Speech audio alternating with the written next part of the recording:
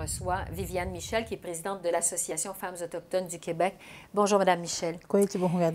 On a euh, entendu euh, le premier ministre Trudeau dire c'est honteux. Le premier ministre Legault a dit que c'est un rapport qui est très dur. Qu'est-ce que vous pensez de la réaction des autorités politiques à ce rapport aujourd'hui? Écoutez, je pense que la, réalité fait un peu mal aussi euh, au palier gouvernemental, mais euh, ça fait quand même 30 ans que l'on crie haut et fort que cette problématique devrait euh, être réglée assez urgemment, comme on pourrait dire. Et en même temps, un mode d'action est vraiment important maintenant. Oui, la commission vient de clore euh, ses, travaux, mais c'est vraiment le début maintenant euh, d'un travail d'action qui doit être fait à partir de maintenant. M. Trudeau a justement annoncé un plan national visant à éradiquer la violence faite aux filles et aux femmes autochtones. Est-ce que vous êtes satisfait de ça? Euh, je pense qu'on doit aller encore un peu plus loin dans le sens que lorsqu'on sort des plans d'action au niveau national, il faudrait mettre en, en importance vraiment un volet autochtone parce que les réalités sont vraiment différentes. Euh, les solutions aussi sont vraiment différentes. Puis on parle de processus de guérison qui est vraiment différent aussi.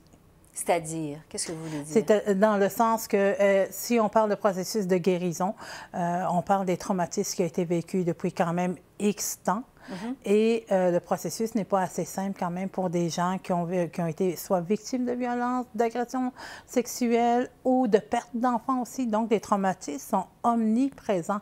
Mhm. Donc, la guérison est encore plus lente et plus longue. Hmm. Sur le thème génocide, parce que vous le savez, ça a fait beaucoup réagir au cours de la fin de semaine. Encore aujourd'hui, le premier ministre Trudeau n'a pas voulu reprendre euh, ce terme-là. Le premier ministre Legault non plus n'a pas voulu le cautionner.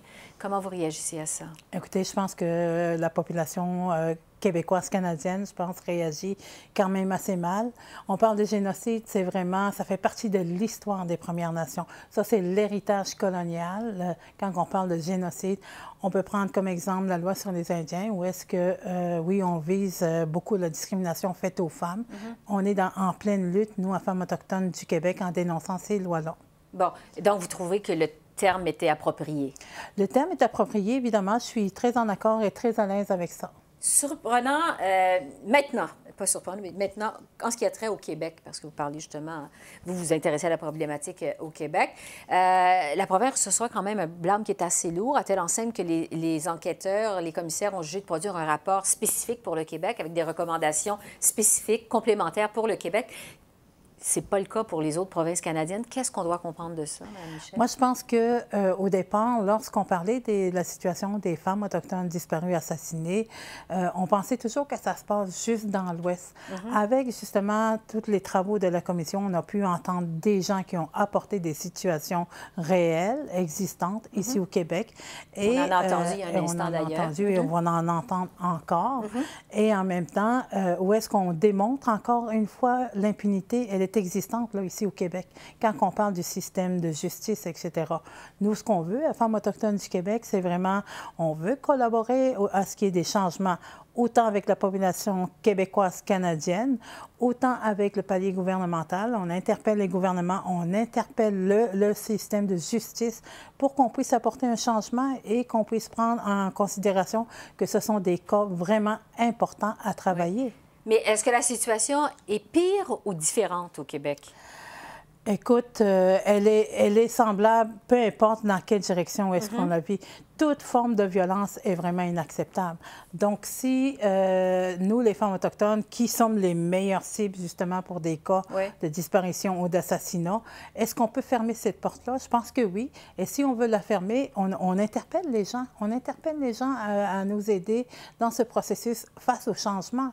Euh, la Commission vient de terminer leur mandat.